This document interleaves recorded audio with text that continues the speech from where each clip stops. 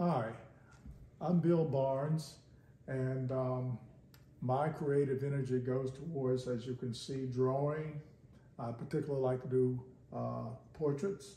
This is a portrait of uh, Dr. Martin Luther King, and I did that before I lost my vision, but I am also still venturing to try to tackle some of that uh, in that uh, that way, portraits as much as possible, even now. Uh, the painting is um, part of a project that I've started. Uh, I've called the project uh, Project 2020. It has nothing to do with your site, of course.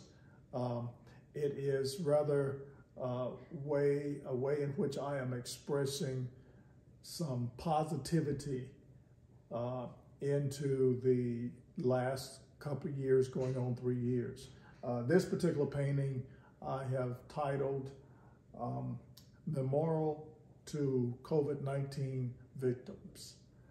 And um, the sculpture pieces you see, uh, I did that also before losing my vision.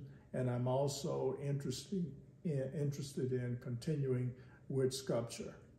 I uh, got an got interested in art as a result of an accident when I was 14. I was in a body cast for two months and uh, I discovered I liked drawing and that led me to where I am now, you know, still liking drawing.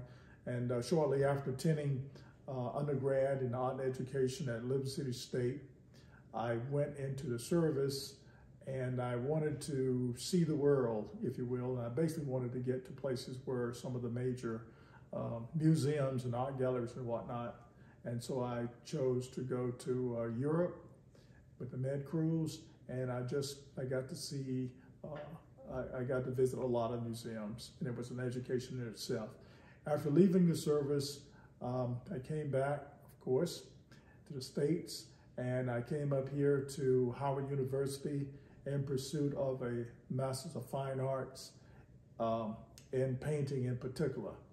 And uh, I uh, enjoyed that uh, experience. It was a great experience.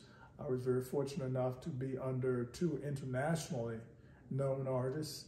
And um, I was very inspired by them and they were very encouraging to let me know that uh, I was on a pathway that, you know, that, that I would uh, be okay with. And uh, that's where I'm at now. I'm still working on this uh, project. Uh, I'm trying to do at least seven paintings uh, to uh, conclude this.